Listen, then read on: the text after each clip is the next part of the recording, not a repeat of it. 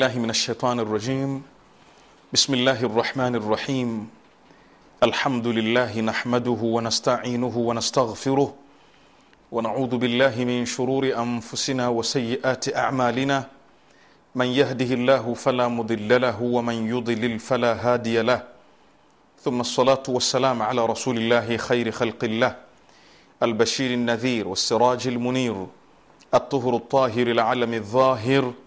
المنصور المؤيد المصطفى الأمجد حبيب إله العالمين أبي القاسم محمد.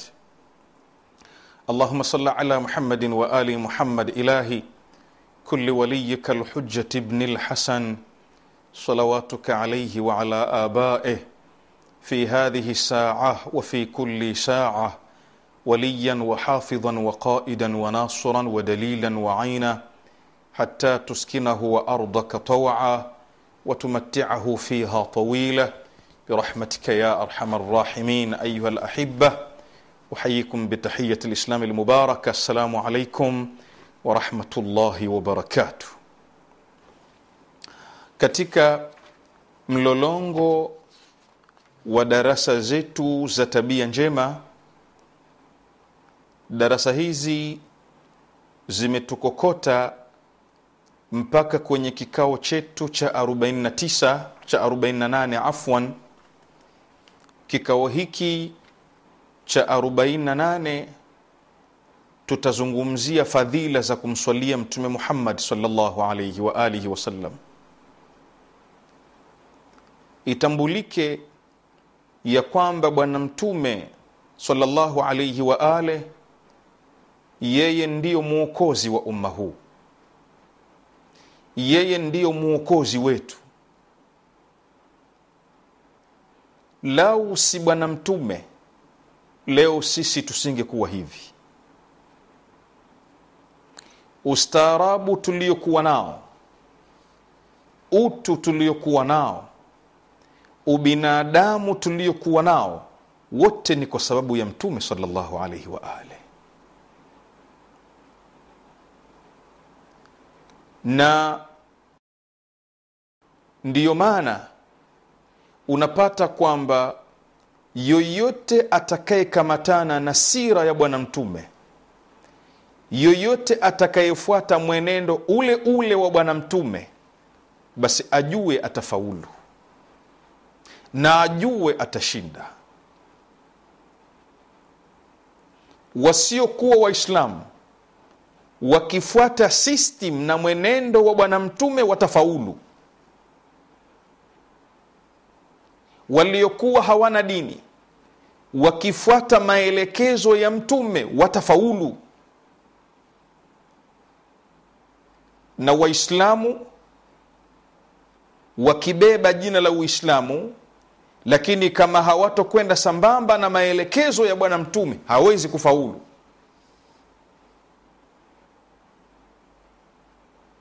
Sasa mtu huyu ambaye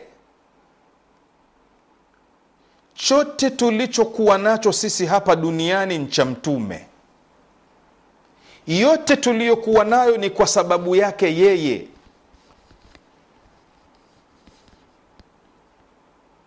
laqad kana lakum fi rasuli llahi uswatun hasana liman kana yarju llaha walyauma lakhir walyaumi lakhir wadhakara llaha kathira nyinyi mtume ndiyo mahala pa kuiga ndiyo mahala pa kufuata.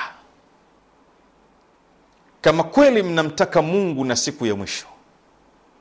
Kama kweli mnataka kuishi duniani vizuri na mnataka siku ya mwisho yenu iwe vizuri. Na ndiyo maana mtu huyu kumkumbuka mtu huyu kumtaja mtu huyu kutokutoka midomoni mwetu ni jambo la fardhi na ni jambo la lazima suratu lahzab aya ya 56 inna allaha wa malaikatahu yusalluna ala nabi. Hakika mwenyezi mungu na malaika wake wanamswalia mtume ya ayuha ladhina amanu enyi mlioamini sallu alaihi mswalieni mtume wasalimu taslima na mumsalimie. Wasalimu taslima na mfuate amri kwa kufuata amri. Mfuate maelekezo yake kisawasawa na moja kwa moja. Kwa nini mungu atuamrishe kumtaja mtume? Mtume si ni mwanadamu kama sisi? Kwa nini mungu amrishe kwamba huyu tumswalie tena mungu akatuambia swaluu alaihi mswalieni wakati wowote. Mungu hajatuambia tumswalie mtume siku za maulidi tu. Aa swalu alaihi mswalieni mtume wakati wowote. Mkiwa katika swala akitajwa mtume mumsalie. Mkiwa katika visimamo vyenu akitajwa mtume mumswalie mkiwa katika matembezi mumswalie. Mkimaliza kuswali mumswalie. Mkimaliza swala ya asubuhi mumswalie.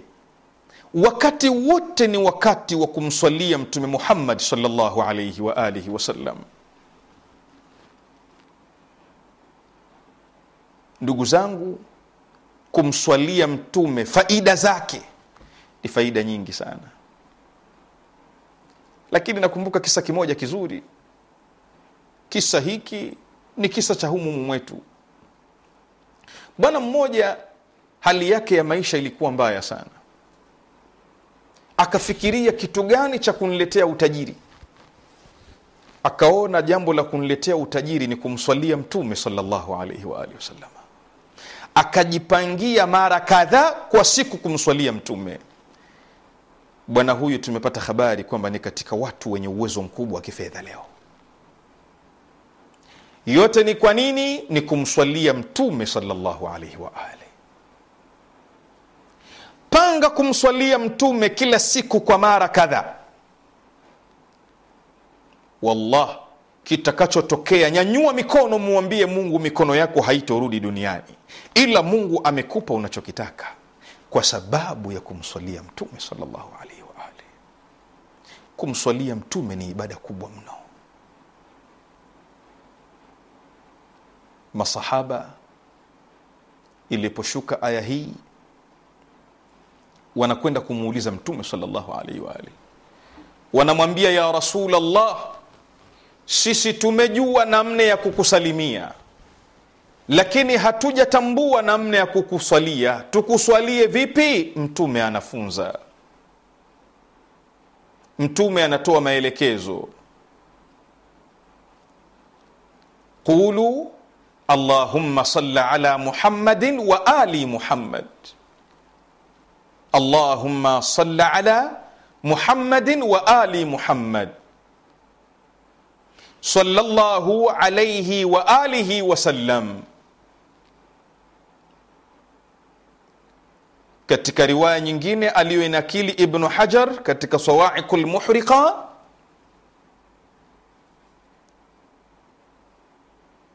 masahaba walipokwenda kumuuliza mtume tukuswalie vipi? Mtume akasema semeni allahumma salli ala muhammad wa ali muhammad. Wala tusallu alaya salata albatra. Wala msiniswalie swala ya kukata wakamuuliza ni ipi swala iliyokatwa? Wakasema mtume akasema ni kusema allahumma salli ala muhammad alafu mkanyamaza. Lakini mkimswalia mtume semeni allahumma salli ala muhammad wa ali muhammad. Inna allaha wa malaikatahu yusalluna ala nabi. Ya ayuha ladhina amanu saluu alaihi wasallimu taslima. Bwana mmoja aliulizwa kwa nini nyinyi kwa nini sisi waislamu tunapomtaja mtume tunamswalia mtume pamoja na ali zake wakati mitume wengine tukimtaja Musa, tukimtaja Nuhu, tukimtaja Ibrahim tunamswalia yeye peke yake. Tukimtaja ibrahim tutasema salawatullahi wasalamuhu alaihi. Tukimtaja yusuf alaihi salatu wassalam kwa nini tukimtaja muhammad tunamswalia na hali zake? Bwana huyu akawa na majawabu mawili. Jawabu la kwanza akasema maadui wa mtume salllahu alaihi wa ale walikuwa wakisema kwamba mtume ni abtar. Mtume amekatikiwa ni kizazi sasa ikalazimu tunapomtwalia mtume sallallahu alaihi wa ali tutaje na ali zake ili kufuta kauli ya kikafiri ya kwamba mtume hana kizazi. Jawabu zuri. Kwamba falsafa ya kumswalia mtume pamoja na ali zake na mitume, na mitume waliopita tunawaswalia wao peke yao sababu nini? Sababu ni kwamba tunapomswalia mtume na ali zake tunawaambia wale maadui wa uislamu wanaosema kwamba mtume hana kizazi inna shaniaka huwa la abtar. Kizazi chake kimekatika tunawaambia la kizazi cha mtume kipo. Ya ala rasulillah hubukum fardun min allahi fi lqurani anzala kafakumu min adhimi lfakhri annakumu man lam yusalli alaikum la salata lah. Alimamu shafii anasema enyewe kizazi cha mtume kuwapenda nyinyi lazima. Inawatosheni nyinyi kwamba ni fahari kubwa yule ambaye hawaswalieni nyinyi hana swala. Jawabu la pili akasema kitendo cha kumswalia mtume na ali zake na mitume wengine tunawaswalia wao wenyewe ni kwa sababu dini za mitume waliopita zilikuwa zinahusiana na zama zao. Musa dini yake ilikuwa inahusiana na wakati wake. Isa dini yake ilikuwa inahusiana na wakati wake. Lakini muhammadun sallallahu alaihi wa alihi wasallama dini yake imekuja ni ya watu wote mpaka siku ya kiama na dini hiyo kubakia kwake ni kwa kuwepo ahlulbaiti inni tarikum fikum thiqlain. Mimi nawachilieni vizito viwili. Kitab allah wa itrati ahla baiti. Kitabu cha allah na familia yangu. Na kizazi changu. Kwa hivyo tumswalie mtume pamoja na ali zake kwa sababu dini yake mpaka siku ya kiama ipo na kizazi chake kitaendelea kubakia mpaka siku ya kiama ama mitume wengine dini zao zilipita pamoja na wao kuondoka duniani. Inna llah wa malaikatahu yusalluna ala nabi ya ayuha ladhina amanu saluu alaihi wasallimu taslima. Bwana mtume sallallahu alaihi wa alihi wasallama anasema assalatu alaya wa ala ahli baiti tudhhibu binnifaq. Kuniswalia mimi na kuwaswalia watu wa nyumbani kwangu kunaondoa unafiq ah, hadithi nzuri sana. Kuniswalia mimi na kuwaswalia watu wa nyumbani kwangu kunaondoa unafiq kitendo cha kuwatoa ali katika kumswalia mtume kunaficha aina fulani ya vita dhidi ya kizazi cha mtume. Na akina abu ayubu lansari na masahaba wengine walikuwa wanamjua mnafiki kwa sababu gani? Kwa sababu ya kukichukia kizazi cha mtume. Kwa sababu ya kutompenda sayiduna ali. Qul la asalukum alaihi ajra illa lmawaddata fi lqurba sema ewe muhammad la asalukum alaihi ajra mimi siwaombeni malipo yoyote ila illa lmawaddata fi lqurba isipokuwa kukipenda kizazi cha mtume sallallahu alaihi wa alihi. Kwa hivyo kupenda kizazi cha mtume kukiswalia kizazi cha mtume ni jambo linalomfanya mtu si mnafiq. Allahuma sali ala muhammadin wa ali muhammad. Haya zaidi ya hivyo ndugu zangu ni kuambie kitendo cha wewe kumswalia mtume kitendo cha wewe kusema allahumma salli ala muhammadin wa ali muhammad kitendo hicho kinasababisha dua yako ifike mbinguni. Wakati mwingine unamwomba mwenyezi mungu subhana lakini mungu dua yako anaizuia haipokei. Kwa nini? Kwa sababu hujamswalia mtume sallallahu alaihi wa alihi wasallam pamoja na ali zake lakini lau ungemswalia mtume na ali zake basi swalawatu yako dua yako ingefika kwa mwenyezi mungu subhanahu wataala kwenye kitabu kinachoitwa kifayatu lathar athar bwana mtume salllahu alaihi waalihi wasalama anasema la yazalu duau mahjuban hata yusalla alaya wa ala ahli baiti dua itabakia imezuiliwa dua itabakia haina nafasi mbele za mungu. Itapokuwa wavipi itakapokuwa hakuswaliwa mtume pamoja na kizazi chake.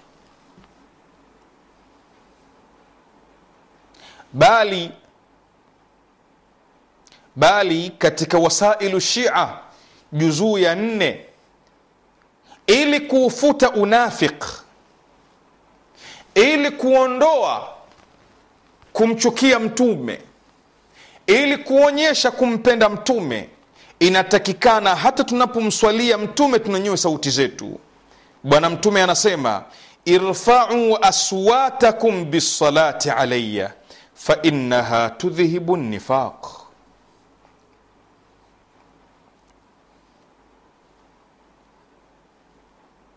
nyanyueni sauti zenu wakati mnapomswalia mtume kwa sababu kitendo cha kumswalia mtume kwa sauti ya juu kinaondoa unafiki ndani ya moyo.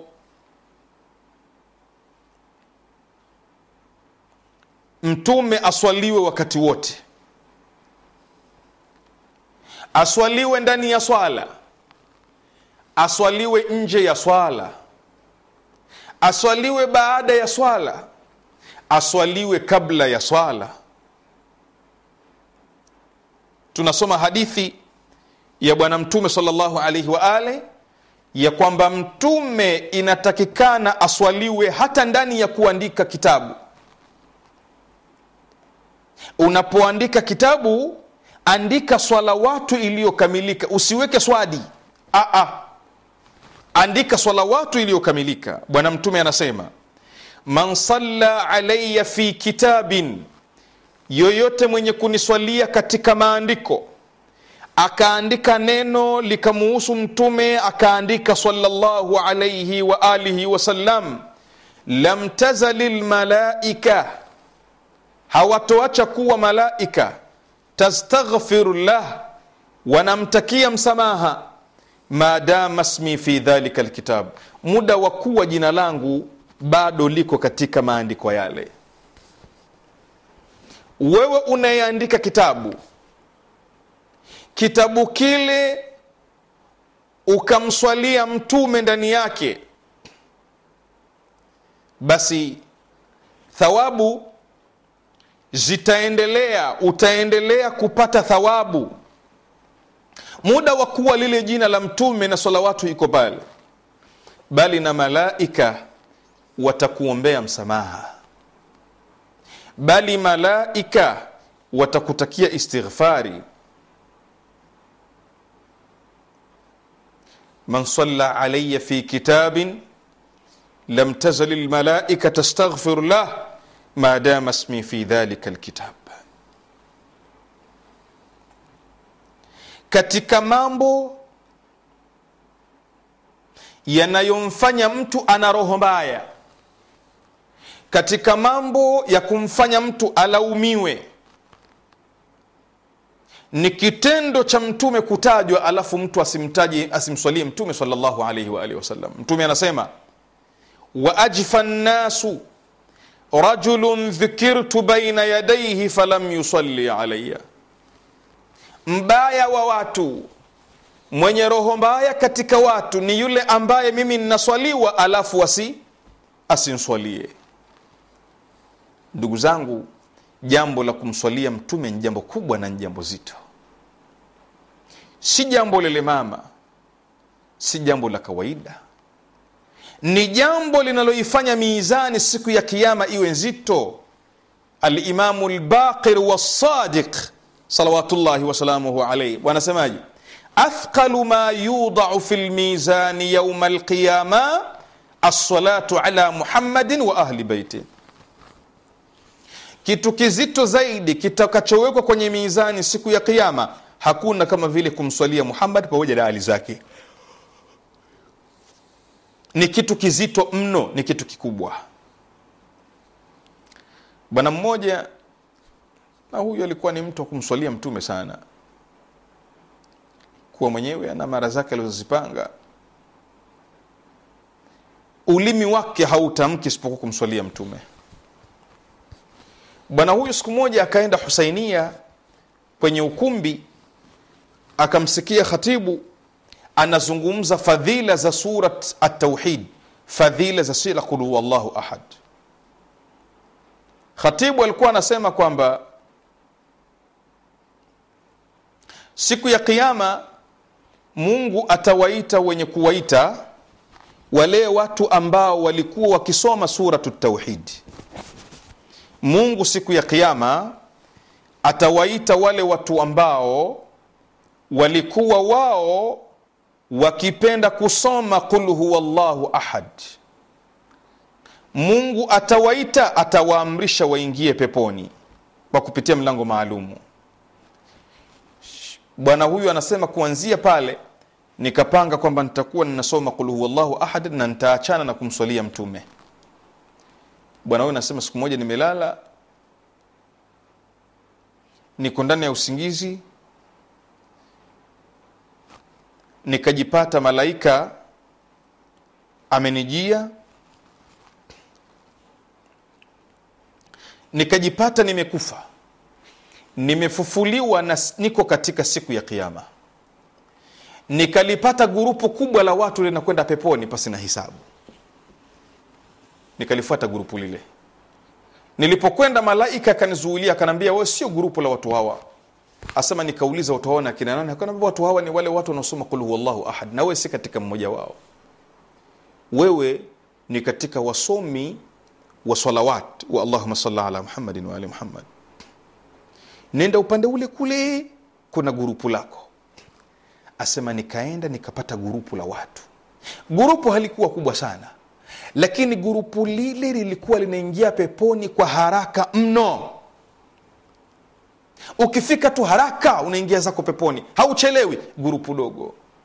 Asema nilipoamka nikajua kwamba kumswalia mtume salllahu alaihi wa ali ni jambo kubwa na ni jambo zito. Man salla alaya mara lam yabqa lahu min dhunubihi dharra. Mtume anasema mwenye kuniswalia mara moja habakina dhambi, habakii na dhambi yoyote katika mwili wake. Rabbana taqabbal minna innaka antas samiul alim tub alaina ya maulana innaka antat tawwabur rahim برحمتك يا ارحم الراحمين وصلى الله على محمد واله الطاهرين